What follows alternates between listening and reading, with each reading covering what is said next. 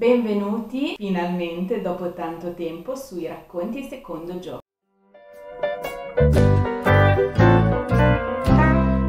Bentornati in questa rubrica dove io vado a leggere periodicamente una raccolta di racconti, dopodiché la classifico commentando le motivazioni a volte per il quale ho dato un determinato voto. Questa volta, come vi avevo annunciato tempo fa, ho deciso di leggere finalmente lo aspettavo da tantissimo tempo. Storia della buonanotte per bambine ribelli 2 di eh, Elena Favilli e Francesca Cavallo. Avevo ovviamente già letto anche la prima raccolta e ve la lascio qua sopra in info box nella sua recensione per Books Review. Questa volta anziché fare una Books Review ho deciso di analizzare le singole storie, ma per evitare casini, perché io so già che alcuni non saranno molto d'accordo con il mio criterio di valutazione, passo a fare una piccola premessa. Non si tratta di racconti fiabeschi, non si tratta né di fiabe né di favole eh, né di racconti a sé di conseguenza non potevo definire un racconto migliore di un altro perché si tratta di mini biografie in sostanza, quindi avrei dovuto praticamente svalorizzare le storie di alcune donne rispetto ad altre. Quindi come criterio di valutazione ho tenuto semplicemente una sorta di empatia nei confronti della mia storia, dei miei obiettivi, di quello che mi ha proprio suscitato empatia appunto, quindi l'emozione interna nel leggere la storia. Alcune storie ammetto che quelle che hanno ottenuto le valutazioni migliori mi sono fatta guidare proprio dal cuore, quindi da emozione di, um, di leggere proprio la loro storia. Ci sono alcune storie che mi hanno commossa addirittura Altre invece mi sono ritrovata meno empatica, ma questo per gli obiettivi che ho nella mia vita, per ciò che mi, eh, che mi fa empatizzare con l'altra persona, gli obiettivi mm, meno comuni, insomma. Questo, spero di essermi spiegata bene, è un po' il criterio di valutazione che ho tenuto, perché mi sentivo male all'idea di dover classificare delle donne come migliori e altre come peggiori, quindi Ecco, spero che questa cosa vi sia gradita. Io direi di partire partiamo dal basso, quindi ho utilizzato la solita classifica da 1 a 5 per evitare troppi pasticci. Comunque le donne che ho scelto per ogni votazione hanno delle cose in comune che adesso andremo a vedere non andremo a vedere le singole donne, questo anche per non farvi spoiler diciamo, però all'occorrenza andrò ad analizzare una storia o tutte le storie, insomma me la gestirò un po' così, è un po' un esperimento, poi mi farete sapere nei commenti se vi può piacere come cosa. Partiamo quindi dalla votazione più bassa, ovvero 1, non sono andata sotto l'1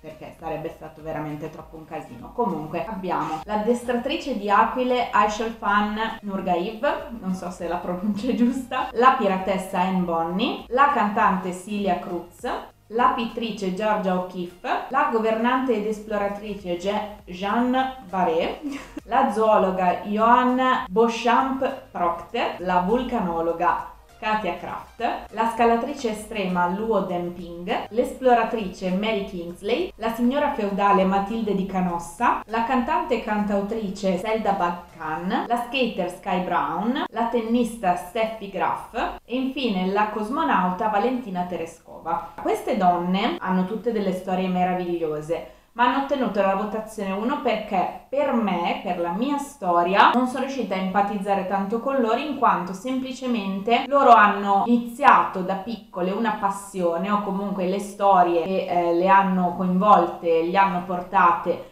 a perseguire una passione e diciamo che non c'era una legge piuttosto che un pregiudizio per il quale loro non potessero farlo, semplicemente loro si erano messi in testa, forse anche per una condizione familiare o cose del genere, di non poterlo fare e quindi sono state ricordate nella storia per averlo fatto. Hanno comunque costruito delle carriere pazzesche, hanno... ma tutto era perché erano tra virgolette facilitate da una situazione personale. Questo prendetelo con le pinze perché questo è quello che mi è passato forse anche per la stesura eh, del, del racconto favolistico in sé perché penso che magari dietro a queste storie ci fosse molto di più. Sono stati ovviamente presi solo i tratti salienti delle loro biografie quindi ecco, magari anche dovuto a questo. Comunque non sono riuscita a empatizzare tanto con queste donne che per quanto siano così diverse hanno fatto delle cose che non penso che dovessero essere ricordate, ecco, però ogni donna va ricordata per qualche cosa, ogni essere umano andrebbe ricordato per qualche cosa. Con il voto 1,5 appena più sopra invece ho inserito la chimica Alice Ball, la neuropsicologa Brenna Miller, l'imprenditrice Madame C.J. Walker, la modella Kudia Diop, l'aviatrice Lillian Blend, la golfista Lorena Okshoa, la vigilessa del fuoco Sarinia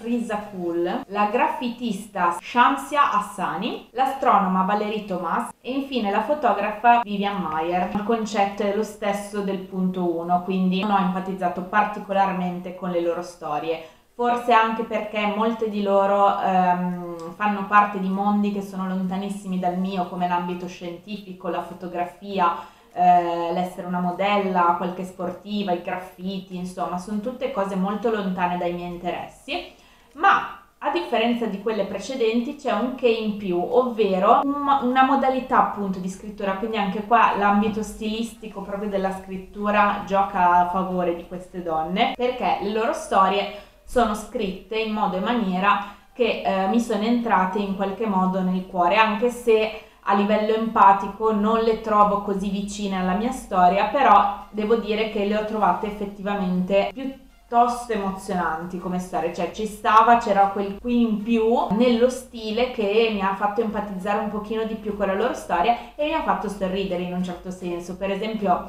di queste, quella che mi ha colpito di più è quella di Vivian Mayer, la fotografa che ha fotografato mille cose in tutta la sua vita, dettagli, ma non ha mai pubblicato le sue foto ed è diventata famosa ovviamente dopo la sua dipartita. Insomma, ci sono alcuni aspetti di questa storia come in questa che non mi fanno molto empatizzare, ma perché per esempio Vivian Mayer avrebbe potuto nella sua vita provare a lanciarsi nel mondo della fotografia, invece non l'ha mai fatto. È stato un caso che le sue foto siano uscite, ecco. Un po' il discorso è questo, chi per, per fortuna, chi per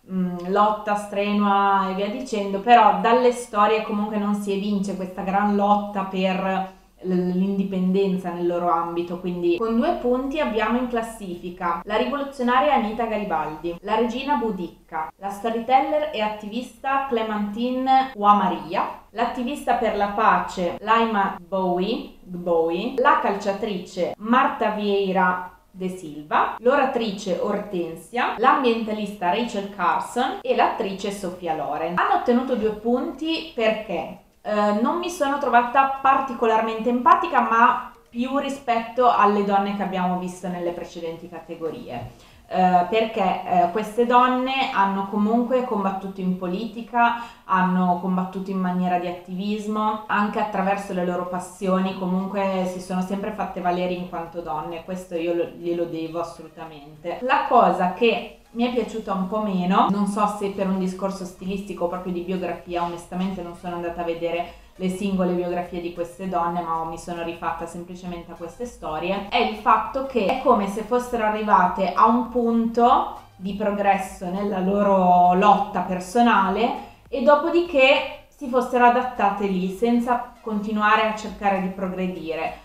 Eh, in più le, le, cose che hanno fatto loro per la storia, a parte le attiviste che comunque forse lì per un discorso è più per un discorso stilistico, ma per la storia non hanno fatto delle cose eccessive, ecco, hanno combattuto delle loro piccole lotte, glielo si deve riconoscere chiaramente, però ecco, mh, mm, ho empatizzato poco con loro perché mi sono sentita come abbandonata, tra virgolette, cioè a un certo punto loro hanno deciso di fermarsi per qualche ragione, insomma, questa è un po' la mia valutazione per il punto 2 e ripeto, spero di non offendere nessuno. Con due punti e mezzo abbiamo quasi a metà classifica. Le guardie forestali Black Mambas, la pianista e compositrice Clara Schumann, l'architetta e designer Gaia Aulenti, le informatiche Catherine Johnson, Dorothy Vaughan e Mary Jackson, la portalettere Mary Fields, la conduttrice tv, attrice e donna d'affari Oprah Winfrey, la collezionista d'opere d'arte Peggy Guggenheim, l'astrofisica Sarah Seeger, l'attivista Sophie Scholl e l'attivista Yeonmi Park. Queste donne si trovano a metà della nostra classifica perché, pur non essendomi trovata molto empatica, lo stile ha salvato queste storie perché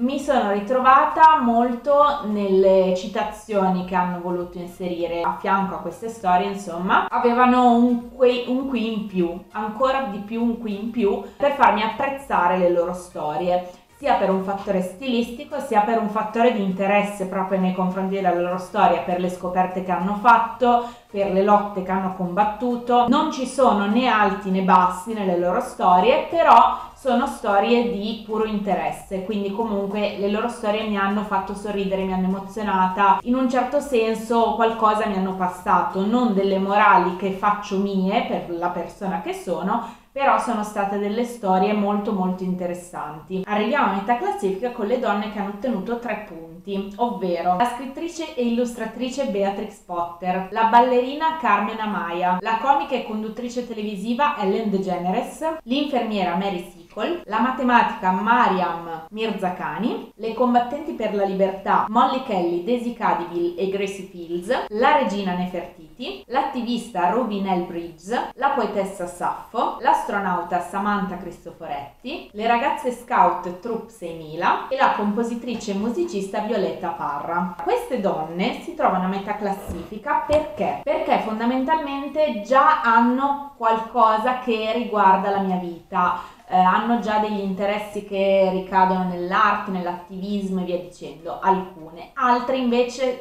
eh, vivono in ambiti diversi dal mio, ma hanno delle storie che mi hanno in un certo senso ispirato. In generale sono tutte bellissime storie queste, che ho letto con molto interesse con molta empatia tutto sommato, alcune più vicine alla mia storia, quindi ci stiamo sempre di più avvicinando a quelle donne che in un certo senso senza che io ne fossi consapevole mi hanno ispirato, ma non tutte hanno raggiunto questa empatia nei miei confronti, o meglio non con tutte ho ottenuto questa empatia, perché alcune appunto, ripeto, sono in ambiti completamente diversi. In generale delle storie comunque molto belle da leggere che io ho trovato molto vicine a me ho trovato illuminanti per alcuni aspetti, insomma in generale belle storie da mettere a metà classifica, non illuminanti al punto che mi cambiano la vita o che mi ispirano chissà quanto, ma comunque delle belle storie. Appena più sopra con tre punti e mezzo abbiamo l'attrice Audrey Hepburn, la politica Eleanor Roosevelt, la nuotatrice Florence Chadwick, l'artista Marina Abramovic, la spia Mata Hari, la scrittrice e attivista Nadine Gordimer, la rivoluzionaria Pauline Leon, la chimica e specialista in cristallografia a raggi X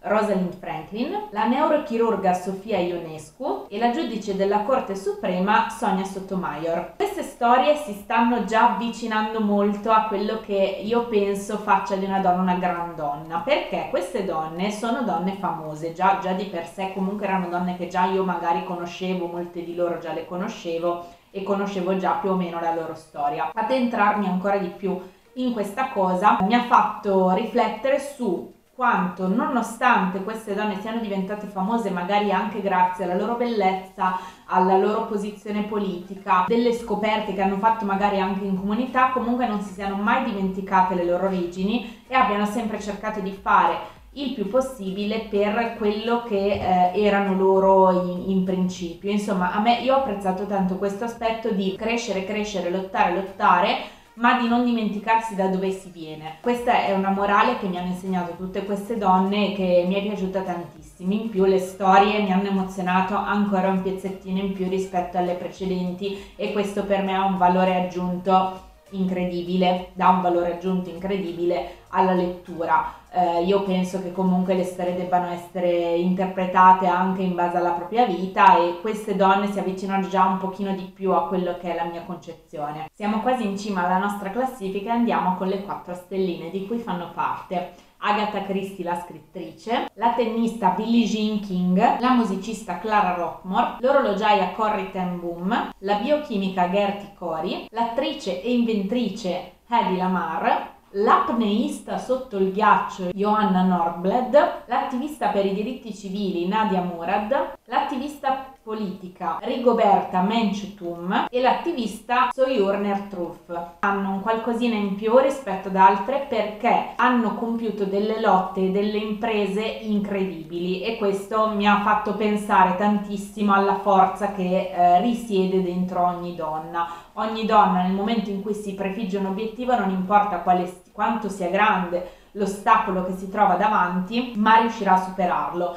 è una cosa bellissima, una cosa che voglio fare mia nella vita, una cosa che è propria di ogni essere umano, basta solamente trovarla, trovare quella motivazione che ci porta poi a compiere delle grandi imprese queste donne non si sono fatte fermare da nulla, per esempio Clara è riuscita a continuare nella sua carriera di musicista nonostante la perdita di un braccio. Ci sono l'apneista sotto il ghiaccio, ragazzi, c'è una, un'impresa che a me spaventa tantissimo e che lei invece è riuscita a fare sua. Insomma, sono donne che hanno attraverso le difficoltà che hanno affrontato sono diventate le donne che sono, quindi è una cosa veramente bellissima, ammirabilissima. Lo stile è bello, comunque sono riuscita a empatizzare molto con queste donne, ma anche loro non fanno ancora parte, diciamo, dei miei principi di quello che io voglio raggiungere. Sempre più vicini alla cima della nostra classifica, con 4 punti e mezzo, abbiamo la combattente alla resistenza francese André Pille, la cantautrice e imprenditrice Beyoncé, la scrittrice Chimamanda Ngozi Adichie, donna della pista dei giovani bisonti, una guerriera, la sindaca Giusy Nicolini, la scrittrice Mary Shelley, la ginnasta Nadia Comaneci, la scalatrice Purna Malava, la rivoluzionaria Kyujin e la politica Simone Veil. Singolarmente, onestamente, non me le ricordo particolarmente, ma quello che mi ricordo è quello che mi hanno passato, che alla fine è un po' il bello della lettura, cioè non è tanto la storia in sé che te la devi ricordare al dettaglio, ma quello che ti ha passato ed è il motivo per il quale a volte mi piace rileggere un libro piuttosto che un altro, perché magari so che ho voglia di quell'emozione e quindi so che quel libro me la può dare. A parte questa piccola parentesi random, queste donne mi hanno ispirato tantissimo, nonostante anche loro per alcuni aspetti siano un po' lontane dalla mia vita, però sono donne che non solo erano delle signorine nessuno e sono diventate delle signore qualcuno, ma allo stesso tempo hanno preso in mano la loro vita, anche quando erano in vetta alla loro carriera, hanno cavalcato l'onda, ma poi nel momento in cui non gli andava bene qualcosa non si sono mai fatte problemi a dirlo per paura di cadere di nuovo in basso dove erano prima. Questa è una cosa bellissima perché comunque eh, determina il loro carattere forte, il loro lottare continuamente per qualcosa, anche la più piccola cosa che non ti va bene, eh, non devi mai mollare nonostante tutto ti dica non lamentarti, vai avanti dritta perché sei a, sull'onda del successo, è inutile che ti vai a lamentare di questa di quell'altra cosa. E invece queste donne comunque, nonostante per alcuni aspetti facilitate o cose del genere, eh, sono riuscite con le loro forze ad arrivare in cima e nonostante ciò non hanno mai smesso di essere fedeli a se stesse. Ecco, questa è una grandissima morale, mi è piaciuta tantissimo. Alcune di queste donne io le ammiro tantissimo come per esempio eh, Beyoncé, Mary Shelley, eh, Nadia Comaneci, cioè sono storie emozionanti, lacrimevoli anche direi, eh, che conoscevo già in, per alcuni aspetti, per il mio lavoro, per eh, le cose che comunque mi piace fare. Eh, quindi ecco, siamo veramente quasi in cima alla classifica perché mi hanno passato una grande emozione, non tanto delle morali in sé, perché comunque abbiamo questa grande morale comune, però delle grandi emozioni assolutamente sì. E arriviamo finalmente alla cima della nostra classifica con le donne che hanno ottenuto da parte mia 5 punti, che sono Beatrice Viola Schermitrice, la regina senza regno Cristina di Svezia, la politica Emma Bonino, l'attivista Gloria Steinem, la ballerina Isadora Duncan, la scrittrice J.K. Rowling, l'attrice Lauren Potter, l'acrobata Madame Saki, Madonna, la cantautrice Donna d'Affari, la fisica quantistica e ballerina Merritt Moore, la testimone contro la mafia Serafina Battaglia, la docente di zoologia Temple Grant Grandin e la spia Virginia Hall. Vi dovrò dare assolutamente una motivazione più ampia per definire queste donne appunto migliori delle altre, ma non è questo il punto, il punto non è rendere delle donne migliori di altre,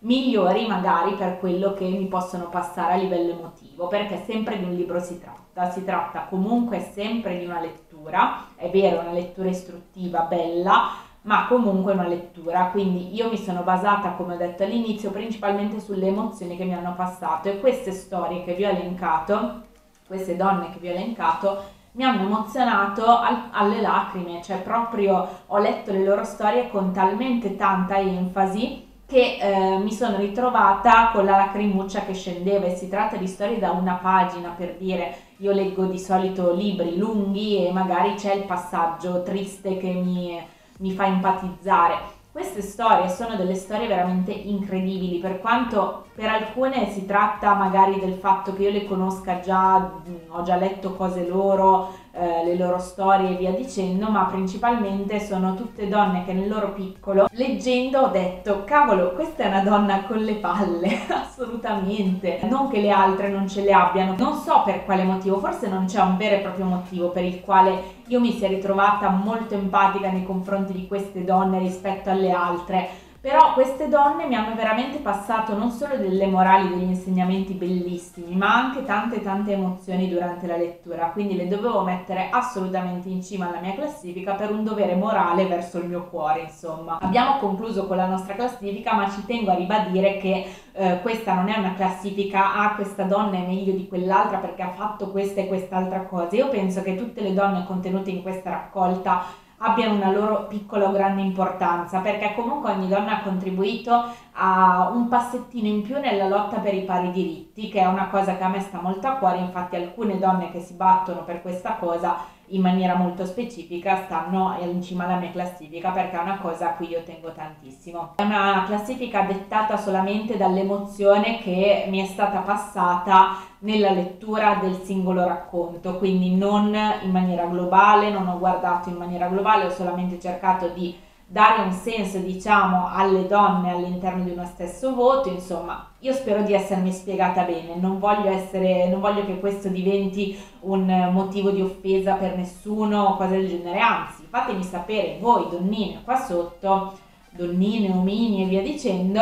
quale sarebbe la vostra classifica. Se avete letto questa raccolta, fatemi sapere quali sono le donne che vi ispirano di più, che vi hanno passato più emozioni e ne discuteremo tranquillamente insieme. Se vi è piaciuto questo video lasciatemi un like di supporto. Se pensate che possa interessare i vostri amici, parenti e conoscenti, condividetelo su tutti i vostri social e se volete supportarmi ulteriormente cliccate sul tasto iscriviti e sulla campanella per non perdervi nemmeno un video. Noi ci vediamo domani con Spreferiti di Gio. Invece con il prossimo Racconti secondo Gio ci vediamo il 21 di settembre, salvo imprevisti come è successo questo mese che oggi doveva esserci la box review invece ci ho messo i Racconti secondo Gio. Vabbè, un bacione e ci vediamo alla prossima!